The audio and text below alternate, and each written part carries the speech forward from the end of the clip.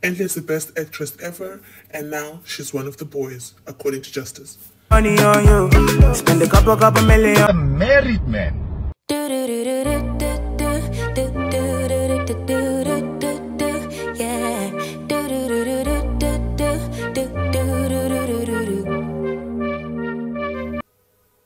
To conclude this Enhle Mbali drama, she's a certified hustling mother who wants nothing but rich men to take care of her and her lifestyle. Take Black Coffee, Peter, and many unknown gents. Now she's hit rock bottom. She went to another woman's husband. Sure. Wives and mains would do everything except leave or cheat back. Also, the only winner here is the cheating husband. Both of these women are just co-clowning for a dick. Bored.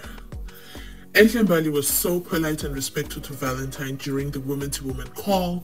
Sis wanted to be accepted as a mamncane so, so bad. She a gone girl for that woman's husband. Yes, Enhle didn't cheat on the wife, but she is still trash for helping that man cheat on the wife and being proud of it too. She clearly has no issues with sharing why didn't she just stay in her marriage and become a umamkulu so we can see her humbleness Another tweet responded. But isn't this how polygamy starts? You jowl with a married man till he decides he wants to marry you. It's just a, a kiss. So what are your thoughts guys? How does polygamy or isthembu actually start? Wow. wow. Okay? I, I, I say wow. Wow. Just wow. Enhle being a side chick doesn't necessarily mean she wasn't abused, but she definitely is a big ass hypocrite. Another replied, proof of her abuse? We do have a Febe though. MacG was right. Don't date or marry it girls. They are all the same. Feminists by day and sleeping with married men at night. The same Enhle that lied about black coffee abusing her. As far as you got coins, you can sleep with an it with any it girl. They're all for the mullah. A comfortable one. Uzofunela dating it sure. How badly do you want the people of Bubeseni to have fiber? The point got to my head, say make I deny you. Remember two things are true about Enhle. Her home was wrecked. She wrecked her home. She was abused. She actively contributed to a man abusing his wife. Both things are true. Here's the response. We are aware. The hypocrisy is just absolutely stunning and how Black Coffee was accused of orchestrating the whole thing was even more staggering. It's gawk-smacking how easily it is to believe something about a man whether it's true or not whilst absolving a woman of her actions. This narrative of she is not the one who made the vows is boring. Women lack accountability when due. Hoes must be dragged. She is an enabler. As simple, I hear you have a partner, count me out, could have kept her off the mess. She was crying here at Black Coffee. Drag Enhle. Another responded, when they come for you, tag me, girl. I'll be by your side. Don't be like, I hated someone's son because of this video. I apologize to Black Coffee. Clearly, there is way more to this story. Good luck to Anthem with the building the Black Nation.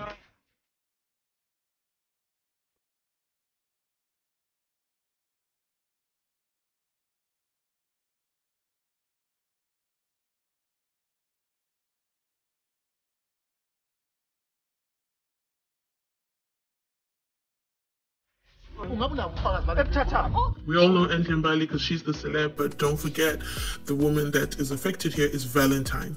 Valentine, Honey's wife. And is out here wanting his temp. That lady who outed Enhle still has some big decisions to make regarding her marriage. The court of public opinion has nothing to do nomshato Instead, she has invited so many eyeballs. E is not the villain in her story.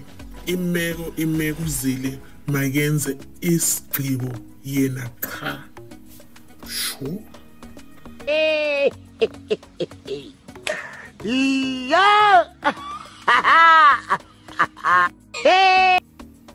Chances are the husband has been cheating for years, but she has never exposed the side chick before. She exposed Enhle because her name carries weight and she's a public figure.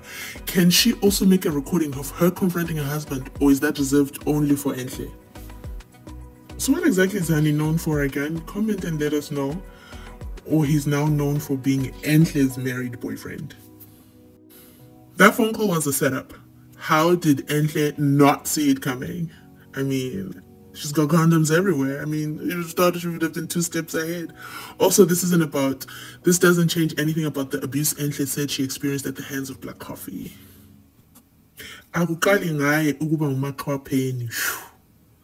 This Danica is definitely not taking her neck off of Black Coffee. She ain't throwing him anything his way. What are your thoughts, guys? kade wafeba lo muntu kudala afeba man kudala afeba the guy that was dumped for cheating let's take it a step further you dump a man because you're saying this man is cheating on you and then you go start a relationship with a married man so basically you hate it when your man cheats on you but you are very happy when the man is cheating with you and cheating on his wife with you why do you want to go and break up a happy home? If you women love each other so much, if you women have each other's backs. kudala afeba man ave feba manje kudala intsha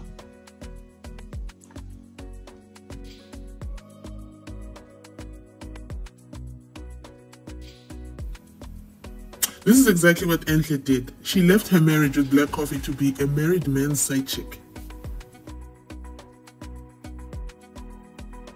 absolutely nothing, absolutely nothing that has happened with which in my marital home. This is just an opener to say, women, we need to stop protecting these men. We keep saying we are tr- trying to build a black nation, and that's what I was trying to do. I uh, did not want to be that woman to break down a man who so many love, but that man is breaking me down, and I am saying enough. Today is the last time I am silenced by any cause now going to talk.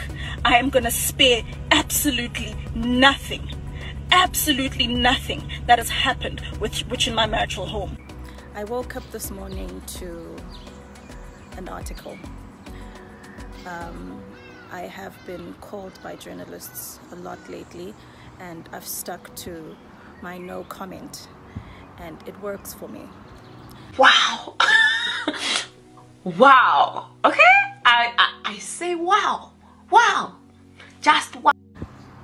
But I woke up today to something that was extremely personal that I had handed over to the court that has now made it to the papers. The situation that is happening right now in my life is indeed happening, but I would also just like a bit of space um, with regards to questions and so forth. I do believe that the system will do what is due and what is fair. I do believe in every way that the South African system is a fair one and our justice system ha- has been built around creating fair decisions for those who can't make ami- amicable decisions. It has been a very long couple of years for me, and in all of that, all I ask is for silence, not for me or anyone else, but for my children. Everything I have done till this day is to protect my children. All I've ever tried to do was be a great wife, a supportive wife, one that is respectful, not only to my partner and everyone who is around him. I have now in me a fight that I've never understood, but I understand why it was placed in me in this point of my life. It has been a very, very, very rough year. But I still stand tall and proud.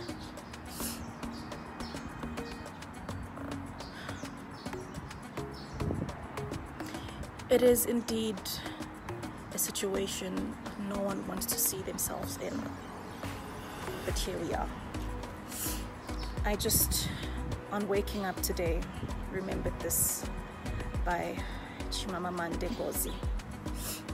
We teach our girls to shrink themselves, to make themselves smaller. We say, girls, you can be ambitious, but not too much. You should aim to be successful, but not too successful. Otherwise, you will threaten the man. Because I am female, I'm expected to aspire to marriage.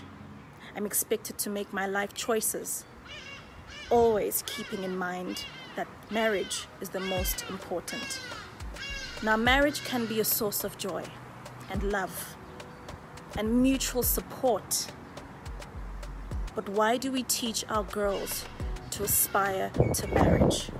As we don't teach our boys the same. We raise our girls to see each other as competition.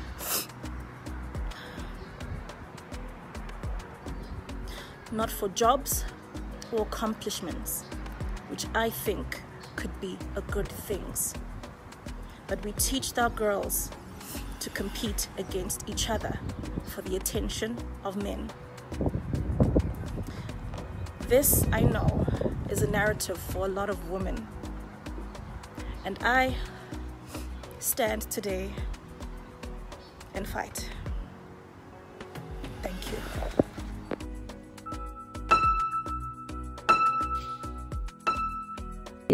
You strike a woman, you strike a rock. I am no rock. And I've said this that I am a flower. I say jump, you say how high. Squeeze them dry, the rest of the world won this. Caesar already down there, scoping out who is who. kade wafeba lo muntu kudala afeba man kudala afeba kudala afeba man ave feba manje kudala